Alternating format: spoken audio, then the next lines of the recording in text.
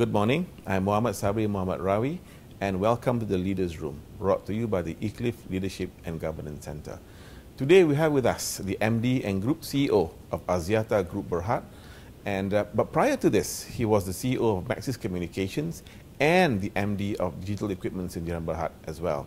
He is a member of the National Innovation Council, chaired by the Malaysian Prime Minister, and also currently is a member of the INSEAD East Asia Council. Ladies and gentlemen, it is my pleasure to welcome you, Datuk Jamaludin Ibrahim. Datuk, welcome. Thank you for coming and thank you for agreeing to spend some time with us this morning. My first question for you today, Datuk, is when you were first appointed as MD and President of uh, skeptics were doubtful whether you would make a difference. But in less than three years, you have transformed Axiata into a darling of the stock market and the analysts at large. Similarly, when you left Maxis, you left it at its zenith how did you consecutively transform two companies into highly successful organizations, Dato? Please share with us your secret. Frankly, there's no magic. In fact, that's the word I want to use. There's no real magic uh, at all, and there's no secrets at all.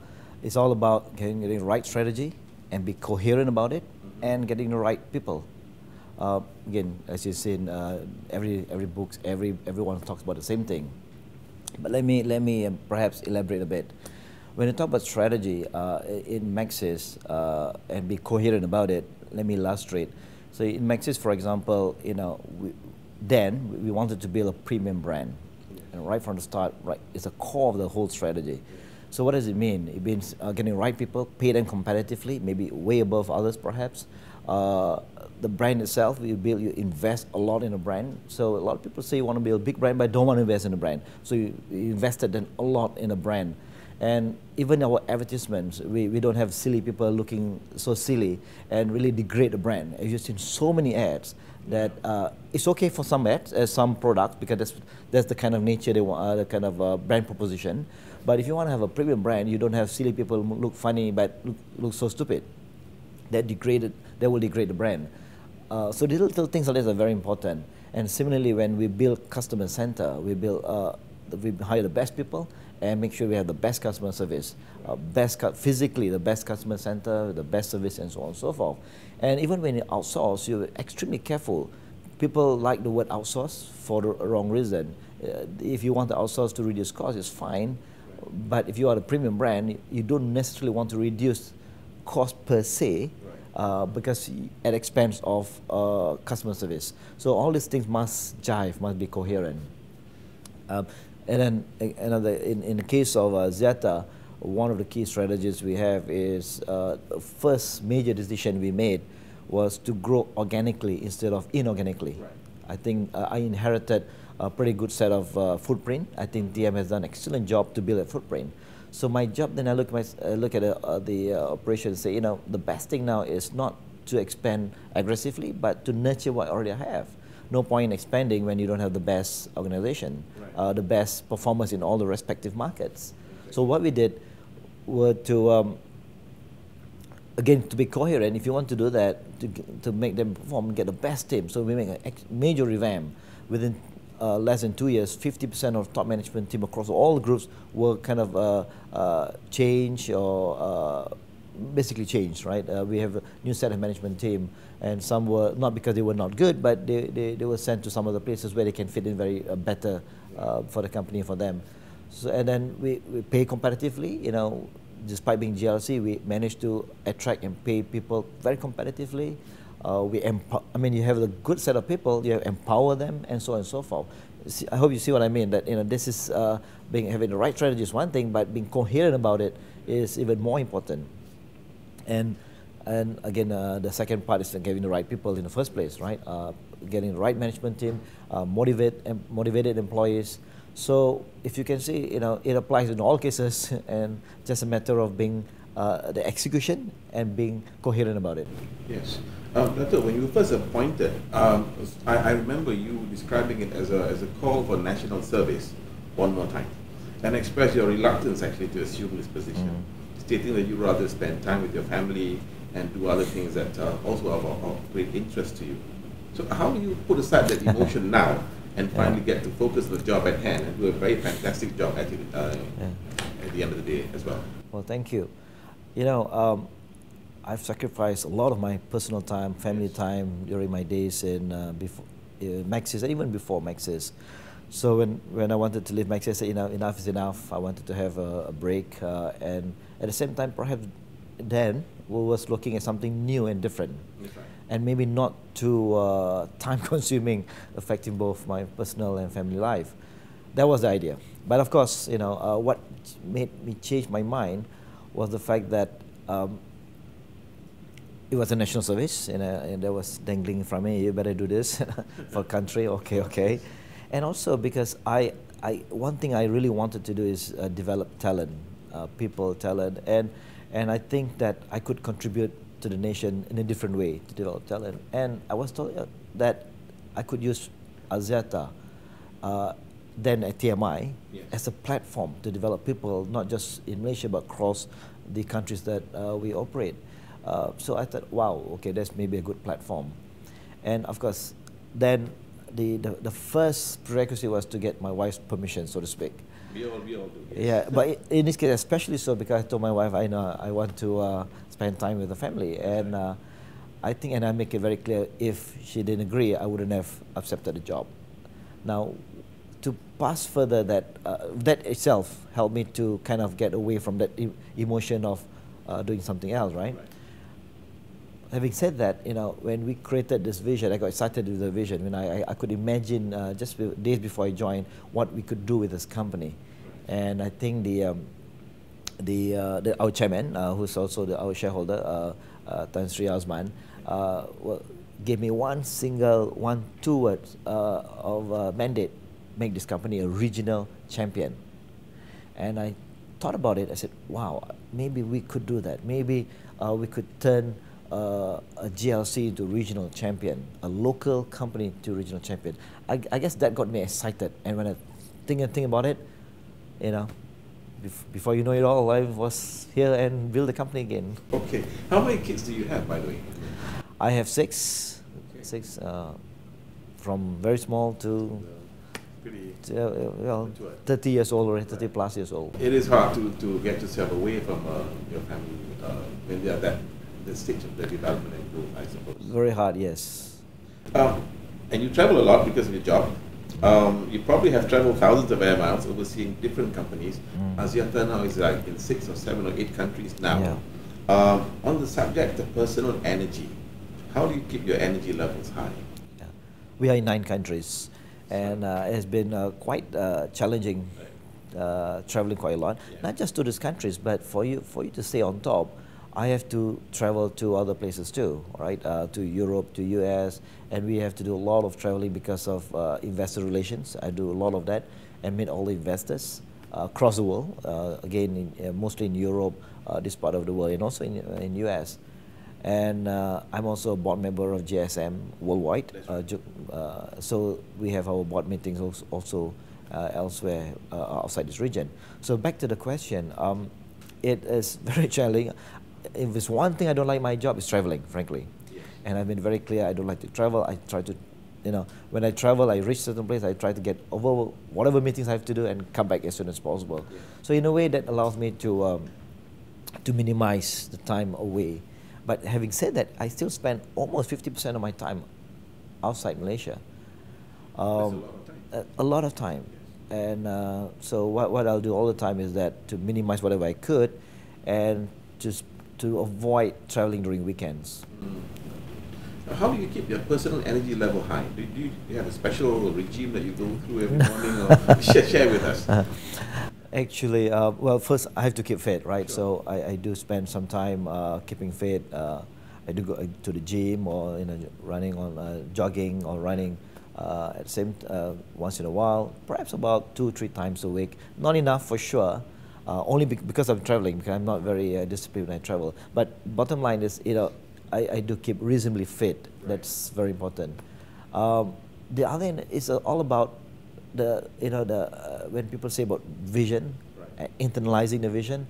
I guess I've internalized it to the extent I said I want to achieve that vision for the company, for the country. Uh, so and that, that somehow energizes that you a bit further? certainly energizes me. When you know sometimes we are down, say, okay, I'm so tired. When I think about it, gosh, but I want to make this company great company. And that keeps my adrenaline going again. I think that sounds fantastic because in Iclif we also believe that there's only so much that physical energy can do for you. Yeah. You know, after that you, you need to tap into other sources of, of energy. Correct. And usually it's the emotional, is a is a spiritual yeah. energy that that. Uh, that's that right. Yes. That's that's fantastic stuff coming from you. Um, well, on the subject, on the topic of diversity, because you're in nine countries now, how do you go about managing various teams in these organizations in these different regions?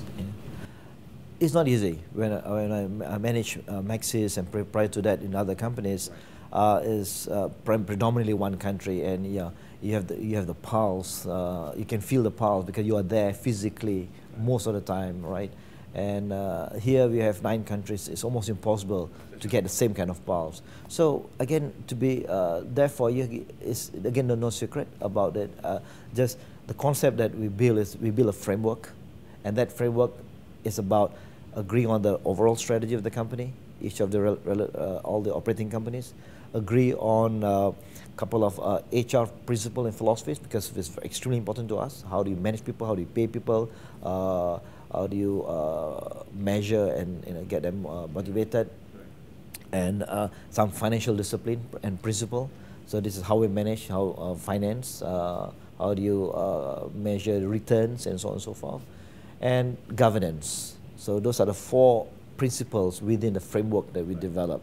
And then we have a mechanism to uh, what we call performance management processes yes. and system.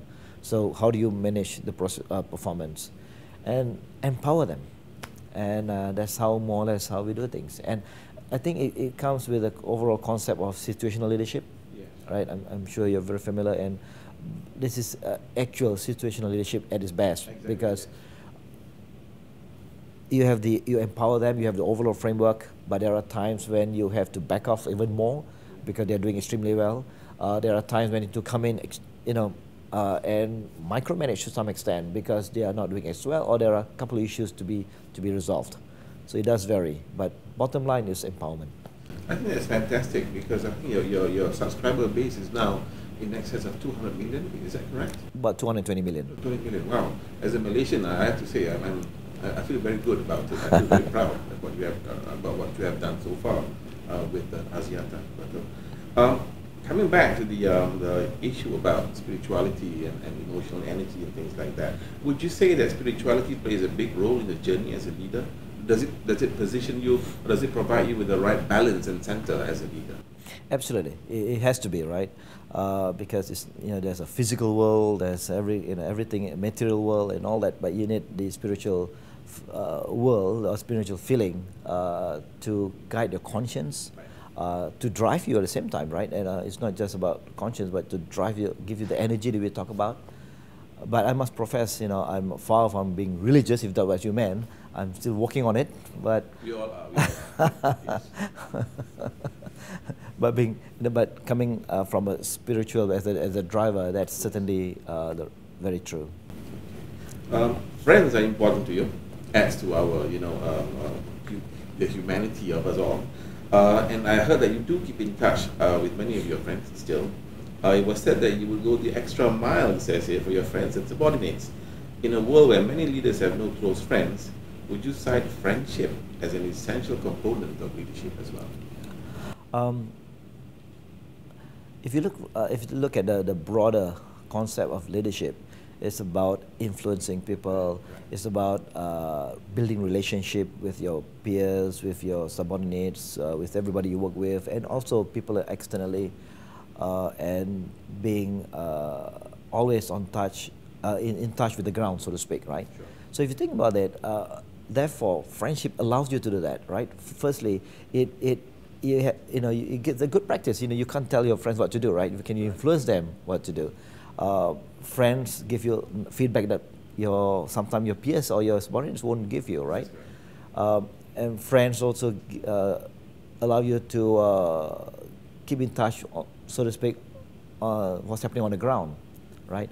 I know I have friends, frankly, uh, from high-ranking people to men on the street. So, and I love it because you know, especially the people who are men on the street, because ordinary people, and I feel very ordinary uh, just like anybody else. It feels good.